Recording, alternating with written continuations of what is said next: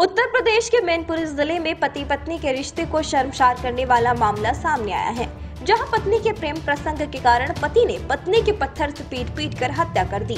सूचना पर पहुँची पुलिस ने शव को पोस्टमार्टम के लिए भेजकर आरोपी पति को गिरफ़्तार कर संगीन धाराओं में मामला दर्ज कर लिया।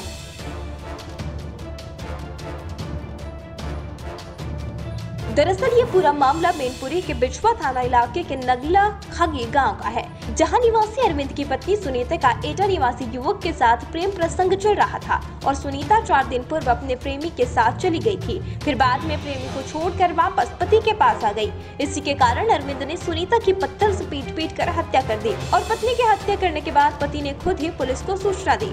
सूचना पर पहुँची पुलिस ने मृतका के भाई की तहरीर पर मामला दर्ज करते हुए आरोपी पति को गिरफ़्तार कर लिया। इस मामले में पुलिस आगे की जाँच पड़ताल भी कर रही है। मुझे सूचना सुबह गाड़ी आई थी। दरोगा जी की बिछमा से। उन्होंने ही मैं यहाँ आ जाऊँ बिछमा। फिर सूचना मिली मुझे कि मैं उसका मतलब मृत्यु हो गई है। कैसे घटना जो आपने सुनी क्या लगा? किससे क्या किसने किया इनके साथ घटना? किसने अंजाम दिया किससे हत्या हुई है? क्या मारा है कैसे वो नहीं होता बटना हम्म। उसी से हत्या हुई है। किसने मारा है? उनको पति नहीं क्या कोई बात थी? क्यों मारा है? क्यों क्यों हत्या नहीं पता मुझे।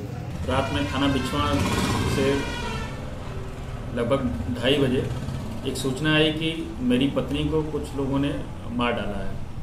इस सूचना पे मैं और थाना प्रभारी तत्काल मौके पहुँच गए।